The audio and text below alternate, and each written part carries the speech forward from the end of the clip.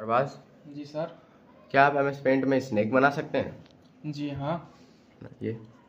सबसे पहले आप किसी भी फेस को ड्रॉ करेंगे। जैसे हमने कर कर रखा है पहले से। और सेलेक्ट पर आएँगे। उसके बाद सेलेक्ट करेंगे।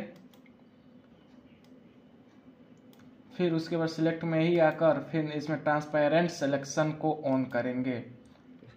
उसके बाद शिफ्ट के साथ इसे ड्रैग करेंगे। जैसे आप देख सकते हैं कि मेरा स्नैक बन चुका है। बहुत अच्छे।